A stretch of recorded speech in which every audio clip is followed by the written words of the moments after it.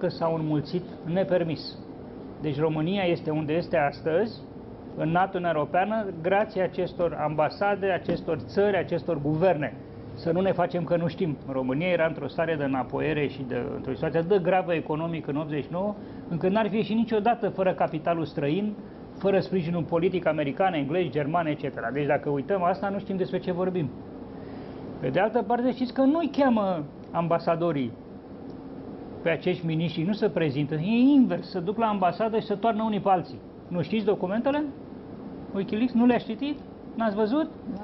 Să fac coadă la ambasador să toarne și să spună ce se întâmplă în politica românească. Asta e un tip de discurs. Al doilea tip de discurs e și poftim pe acești ambasadori să fie mai decenți și să respectă protocolul și ceremoniile și legile așa cum și noi le respectăm în America, la Londra, la Berlin sau la Paris. Adică uneori suntem tratați ca o colonie. Suntem o țară de lumea a treia, este adevărat. Nu face nicio îndoială. Suntem înapoiați, civilizația noastră politică este care este, corupția e cât casa, dar totuși ar trebui să ne dea niște lecții de decență, de protocol, chiar ei. Și să le să respecte. Nu-mi place tonul uh, unor ambasadori care ne admonestează și ne spun ce să facem. Uh, și ei au destule probleme, chiar în justiție. Nu? Și nu cred că vrem să... Nu cred că modelul românesc, care e inspirat de cel francez în general, cu puține influențe germane, poate fi împrumutat în Statele Unite. Este un sistem juridic cu da, totul da, diferit. Vedeți, în afară de, Acolo de președintele stradă, numește și nu mai știe nimeni că e politică. În afară de stradă care e obosită, sau au obosit oamenii, nu mai nu iese sunt lumea în nici stradă. așa. Să nu mă întrebați asta că vă spun de înainte. Lumea nu iese în stradă. Bun, și atunci dacă lumea nu Sunt mai iese câțiva în stradă, mai pasionați, atât. ambasadele astea, Comisia Europeană, ar cam fi ultima rezistență în fața avalanșei Să fim, să fim, este PSD foarte bine împotriva ce fac, justiției. că le arăt acestor zebzeci că sunt cu ochii pe ei. Că nu poți să torci justiția cum vrei ca pe o mănușe ca să-l scapă Dragnea. Dar credeți că e loc de negociere E aici? foarte bine. Cu Nu, dar vreau să contractele spun, pe armament? și așa Obiecția mai mea departe? este că trebuie să respecte formele și să știe că sunt într-un stat străin, independent, suveran, etc. și uneori nu respectă lucrurile astea. Eu nu cred că ambasadorul român la Washington își permite să-l cheme pe ministrul culturii sau să prezinte la ministru să-i dea niște lecții cum să, uh, cum să acționeze în lumea americană. Așa ceva e de neimaginat. Și aici ar trebui să fie de neimaginat. Dar, în primul rând, politicienii nu trebuie să poarte cu demnitate și să țină rangul, să știe că Bine, mie mi-ar reprezintă plăcea o să se țară. poartă cu demnitate când Acum e vorba să vă despre spun. protejarea capitalului românesc, despre afacerile românești, despre forța de, jaful muncă băncilor, de românească. jaful băncilor, nu da. neapărat că sunt ei, vai, de- cu legile pe justiție. Nu, dar vreau să spun că aici ar trebui făcut un, un echilibru. Pe de o parte să vedem aportul enorm pe care l-au avut ca în acești 27 de ani România să o ia într-o anumită direcție și care nu s-ar fi realizat fără intervenția. Amintiți-vă după mineriadă. Toată lumea a întors spatele României. Guvernul României era un paria și această reacție violentă a Occidentului a salvat democrația în momentul ăla. Că noi eram, eram în opoziție, pusesem în stradă, pusesem la universitate. Noi eram făcuți terci de minerii lui Roma și Iliescu. Intervenția brutală a americanilor a salvat democrația în România în, în acel moment. Păi vedeți? Toată lumea a trătit ușile. Nu, deci trebuie văzut de la caz la caz, nu trebuie condamnat de planul acest tip. Uneori mă bucur că ambasadorul american, Clem de pildă, intervine și spune lucrurilor pe nume, alteori nu mă bucur că îl văd deplasat în atitudinile pe care le are. Nu trebuie să susțină, ca să vă dau obiecție, nu trebuie să susțină persoane, ci principii.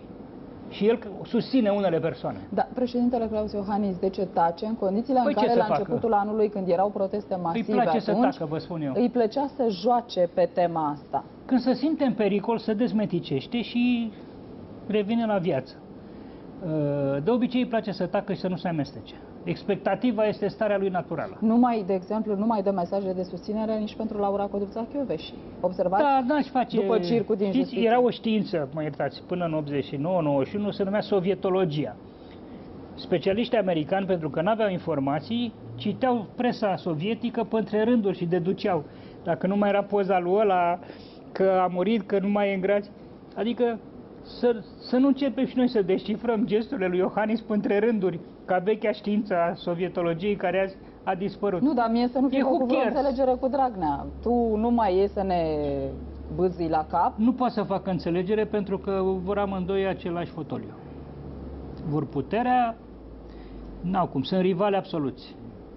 nu că nu s-ar place, amândoi sunt actiați de putere, dar sunt rivali absoluți. Vor același lucru și atunci sunt cu cuțitele pe masă, chiar dacă le mai arată, nu le mai arată.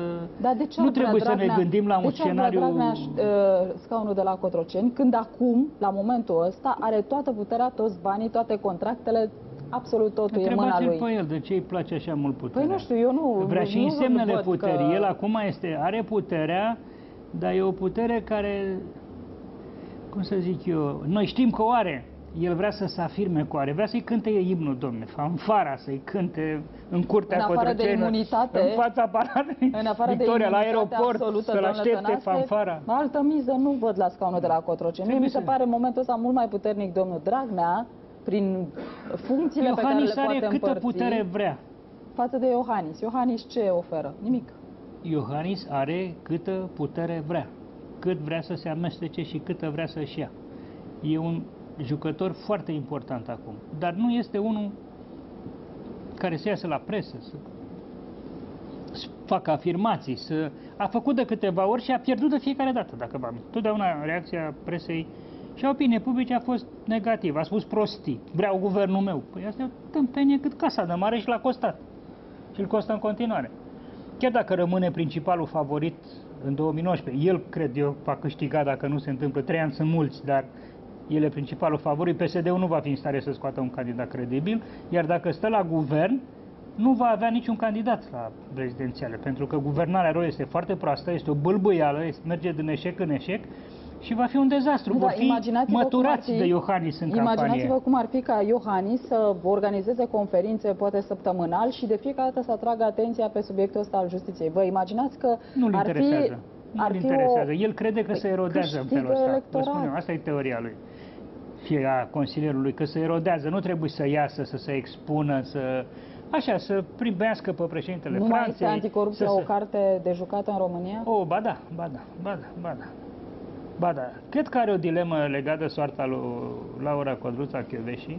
Cred că miza e capul ei în momentul ăsta și cu toate prostiile care le face Ministrul Justiției Tudose și conflictul ăsta cu CSM-ul, și la Direcția cu reforma pe care vrea să o facă, cu Clem care intervine și vrea să știe exact despre ce e vorba, uh, e, în joc este un singur lucru și știm toți, capul lui Laura Coduța Căveș.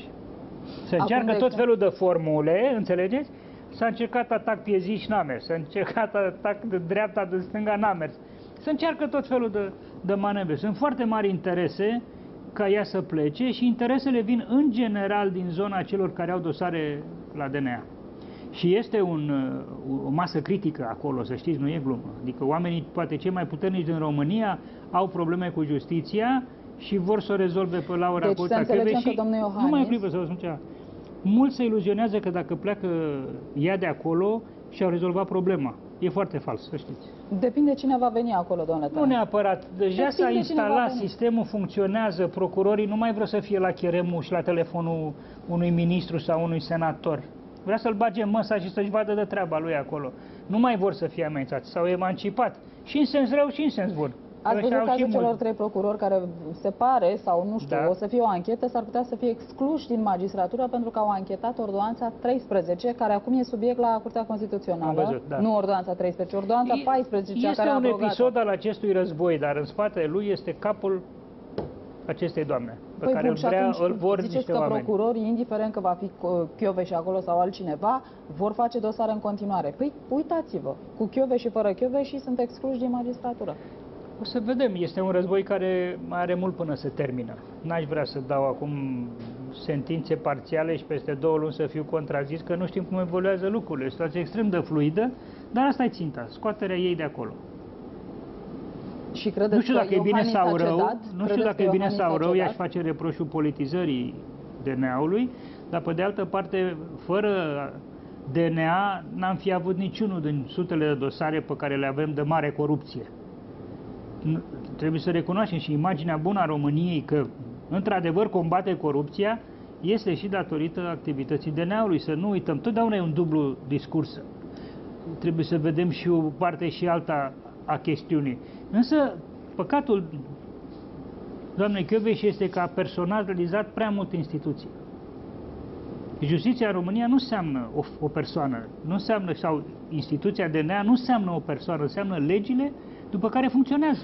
Credeți că domnul Iohannis a cedat presiunilor celor de la PSD sau s-a înțeles cu ei în sensul că, ok, dacă vreți să o schimbați pe Laura Codruța Chiove și schimbați-o, schimbați-o, faceți controle, faceți ce vreți voi, nu vă mai pune o bețe în roate. Deci Iohannis nu va acționa în acest sens în care spuneți dumneavoastră decât dacă primește din afară liber.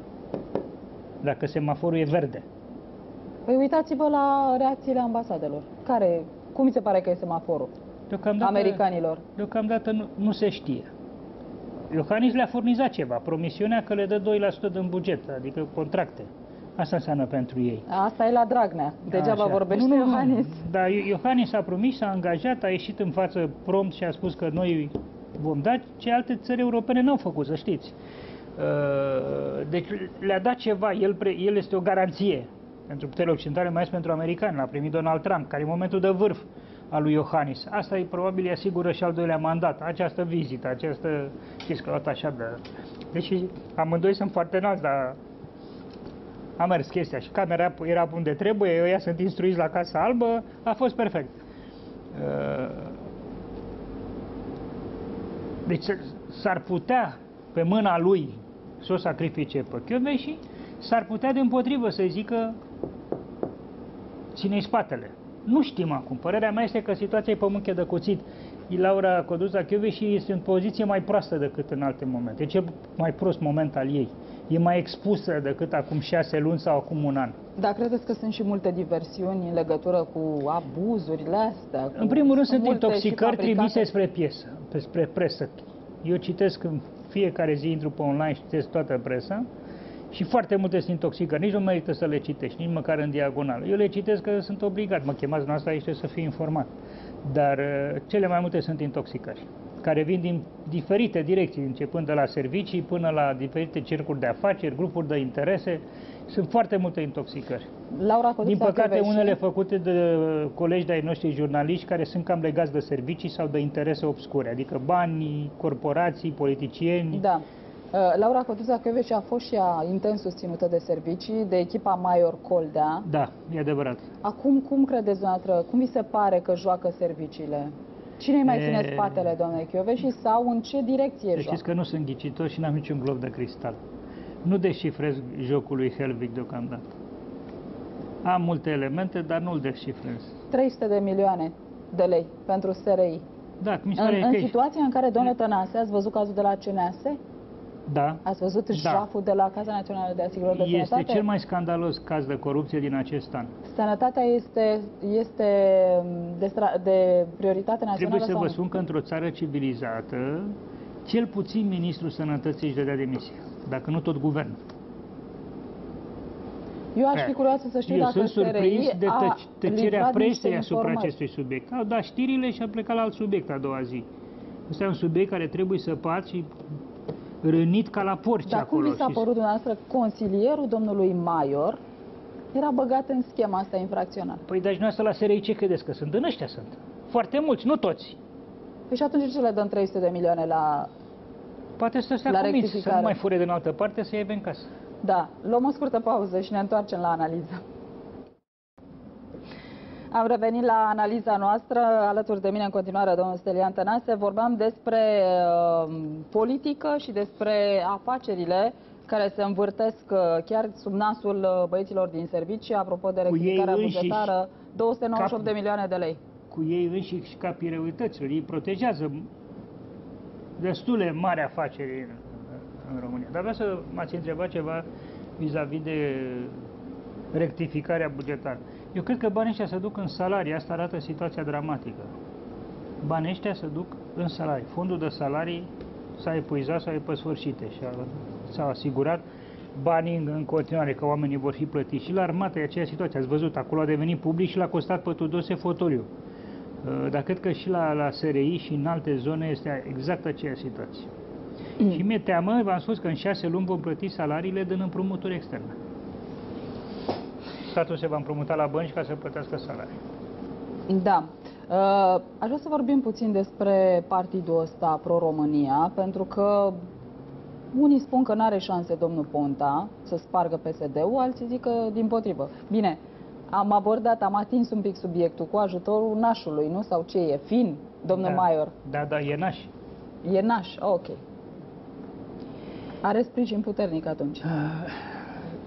Da, da și nu. Nu cred că Ponta poate să mai uh, afecteze PSD-ul, pentru că dacă ar fi putut să o facă, momentul lui favorabil a fost în povestea cu Grindeanu. Când Grindeanu l-a luat lângă el, l-a făcut secretar general al guvernului, tocmai în speranța că el mai are vreo influență în PSD, că poate să aducă oameni, că are fideli.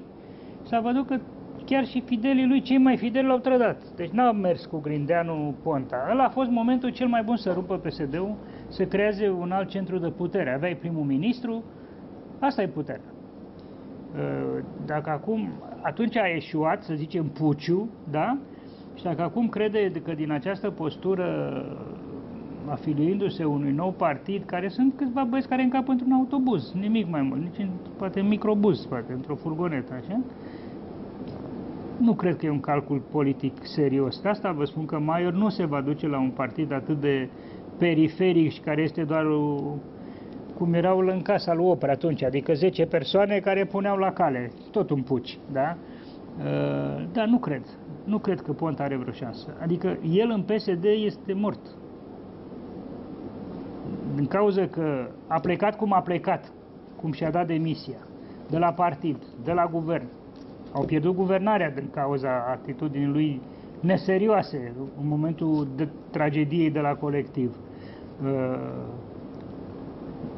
nu mai este agre, nu mai are susținere. Oamenii vor la putere, dacă ești într-un partid, liderul îi aduce la putere, cum a făcut Dragnea. Da, asta este autoritatea lui în partid atât de mare.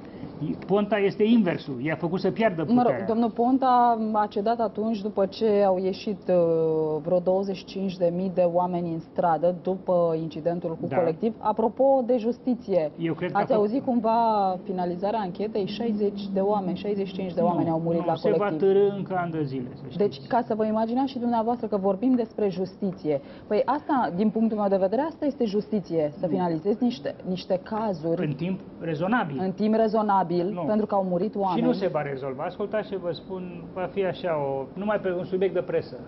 Se vor, se vor da anumite sentințe, dar povestea întreagă și vinovățile mari nu se vor stabili decât într-un moment de criză încât trebuie să se stabilească pentru a câștiga electoral ceva, adică trebuie un țap ispășitor, ceva și să produce așa un fel de mitologie provizată Păi de vedeți răspunderea magistraților, păpușiari. asta am tot vorbit aici, despre răspunderea magistraților, ca și acei judecători împreună de mânuță cu procurorii să aibă responsabilitatea. Dosarele astea care se târăsc prin instanțe până la prescriere, și, ar trebui și să se târăsc pentru că sunt influențe politice sau de alt tip, și economice și de alt tip.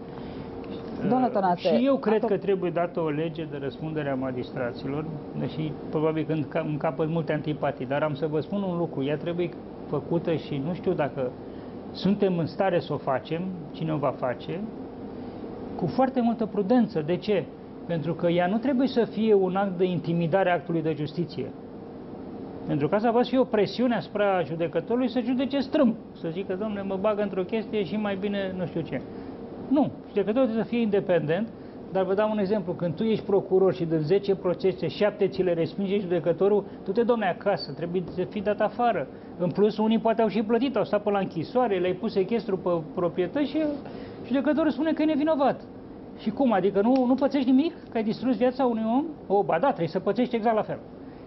Asta înțeleg eu răspunderea, dar legea trebuie făcută și chiar nu știu ce specialiști avem să poată să facă. Trebuie să luăm modele din alte țări. Se poate face doar că Dar ei nu se poate nici așa, să nu ți se întâmple nimic indiferent ce faci, că atunci devii un zeu. Da, spuneți Poți să te joci, să-ți bagi joc de orice. Povestea asta cu ordonanța 13, că tot am vorbit da. despre mișcări de stradă, da? Uh, deci, spus, dacă va fi declarată neconstituțională ordonanța 14, înseamnă că ordonanța 13 intră în vigoare, da. Intră în vigoare. Păi și atunci care este jocul, de fapt? Să, să introducă în vigoare această ordonanță 13 cu mâna Curții Constituționale, care nu poate fi contestată? Deci, cred că explicația este foarte simplă. Dragnea și oameni interesați în această ordonanță, că nu e numai Dragnea, aici întreagă rețea de oameni de afaceri, politicieni, etc., vor încerca prin orice mijloc să se scape, să-și albească dosarele. Și asta e una de manevre. Vom vedea. N-aș vrea să pun mâna în foc, n-aș vrea să incriminez inutil, să creez scenarii, detest conspirații sau teoria conspirației, să vedem ce se va întâmpla. Chiar Da. este un caz la care să fim atenți să vedem cum va judeca. Da, avocații sunt doamnei foarte Alina curios. Vica au ridicat această excepție de neconstituționalitate Știu, la da. ceva distanță după momentul ianuarie cu proteste. Au așteptat să se calmeze Și dacă au spiritele, așteptat, pur și să simplu le-a uite venit ideea. că Oamenii Le-a venit ideea la un moment dat, păi nu le-a venit de prima dată. nu pot să contește acum o decizie luată la Curtea Constituțională sau o decizie luată în Parlament, care e forul suprem, cum îi place domnului Știi ce se Tăricianu va să vă- întâmpla? Am să zică. impresia acum, mă gândesc ascultându-vă ce spuneți. Poate această guvernare PSD, care este o bâlbăială și este un eșec, până acum, poate își vor reveni, eu nu cred, dar uh, va sta sub semnul acestei ordonanțe 13. Adică a ambiției lui Dragnea de a se scoate și de a rezolva problemele. Nu numai Dragnea. Eu când spun Dragnea spun o spun asta, un sistem, da? o rețea de mafii, de clanuri, de interese, de etc. S-ar putea ca toată această guvernare, de fapt, să fie acest efort de a, de a albi dosarele, mai ales acum începând cu cel al lui Dragnea, care e capul structurii respective. Curtea Constituțională credeți că este politizată? Apropo de proiectul celor de la USR, ca judecătorii de acolo să nu fie avut tangență în ultimii 9 ani cu zona politică. Cel Ar fi puțin nu foarte la bine vedere, pentru așa. că, spre deosebire de Curtea Supremă de la Washington și care e numită de președinte, fără să mai zic că ambasadorul Clem că e politic, nu? N-are curaj. Așa? Și așa. El e din partea democrată și s-ar putea administrația republicană să-l scoată de la, să-l extragă de la București. Și încearcă și el să, facă, să, să se facă uh, util. Dar, mă întorc. Curtea Supremă în America adună cei mai străluciți juriști din America. Înainte de a ajunge la Curtea Supremă, care pentru ei este maximum ce se poate obține, da? și care are și din cauza asta o uriașă autoritate în Statele Unite, uh, ei trebuie să aibă o carieră de juriști, nu să treacă pe partide, nu să fie pe presă, nu să fie, Exact, lo- da. nu să fie lobiști. La Mulțumesc. noi, la noi și închei, îi ia de pe Parlament când ajung la sfârșitul carierei și varsă aici. Să le așa dea ca- un mandat de 9 ani bine să plătit mai stea pe o și... pensie foarte bună, pe un salariu foarte să mai aibă influență. Mulțumesc foarte mult, Toți, domnule toți Tănase. sunt politizați. Curtea este politizată. Mulțumesc pentru prezență, mulțumesc și noastră pentru atenție. Rămâneți cu Georgia Simionovici. O seară plăcută în continuare.